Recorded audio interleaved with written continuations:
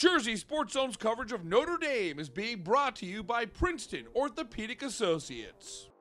Nery Rodriguez coming to you from Middletown, and we have an exciting boys basketball matchup for you as 8 and 2 Notre Dame takes on 7 and 3 Mater Dei Prep.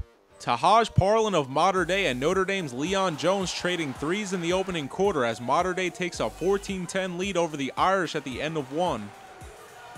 Second quarter, Mike Kane bringing Notre Dame within two as 342 remains. A bit later, Justin Yu from three gives them the lead at 17-16 with 2.49 to go. Then closing moments of the second, this block gets Mike Kane in open space for the fast break. And going into halftime, Notre Dame leads the Seraphs 21 18. Third quarter, Mater Dei with some fresh cookies. The pass goes to Pete Gorman, and they trail 24-22 with 4.46 remaining. A few moments later, Tahaj Parlin comes up with the turnover. He looks to Pete Gorman from three, and that helps them take the lead. Seraphs ahead 25-24 with 4.03 left. Final seconds of the third, Notre Dame falls behind by six. Justin Yu knocks down the tray, and at the end of three, Irish trailing 32 to 29. Mater Dei still ahead by four with four minutes remaining in the final quarter. Justin Yu with another banger from three ties it at 35 as 320 remains in regulation. Irish down by two as we near the two minute mark. Shot no good, but they get it back. And Justin Yu once again fearless from beyond the arc. Notre Dame with a 39-38 lead. They're ahead by two in the closing minute. A missed free throw giving Kyle Drake a fast break, and he ties it at 40 with 43 seconds left.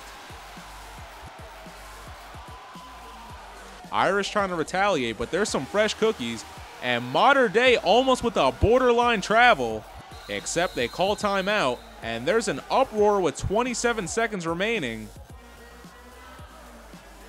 However, ensuing touch Tahaj Parlin drives in, and Mike Kane draws the charge of his life as it's an offensive foul with 2.5 left. Justin Yu pretty good from three on the day, but no dice on this shot, and we're going into overtime knotted at 40.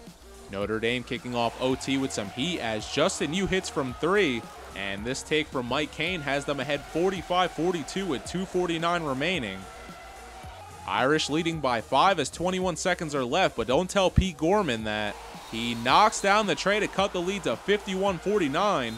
Notre Dame ahead 53-51 with 10 seconds left. Pete Gorman draws contact and he'll shoot two with three seconds remaining. Knocks down the first one to cut it to one.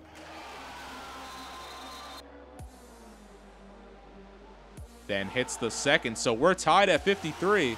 Irish out of timeout, so they're going to have to go for it. Justin Yu gets the call again. No luck with the handle, but gets it back, and with time expiring, Yu with the go-ahead basket. And this one ends with fireworks. 55-53 is your final. Notre Dame improving to 9 and 2 with this heart-stopping victory. Mike Kane with 18 points and 10 rebounds in the win, but player of the game goes to Justin Yu. Not only does he drop 26 with 6 of those coming from 3, but hits the game winner. We caught up with Yu afterwards on his heroic effort. We were all relieved, man. It was a it was a it was a tough game, back and forth. But you know, at the end of the day, we still won. It was a good game though. After he hit the free throw, I saw my man. He was face guarding me, and I was near the half court line, and I knew that I knew that I would be open because my man wasn't looking at the ball. So my teammate Steve, he threw it, and then I fumbled it at first, and then my teammate fumbled it, and then at the last second I just threw it up and it went in. I was I was just relieved because it was just a it was a long like hard fought game. I'm Nery Rodriguez, and you already know it's Jersey Sports Zone.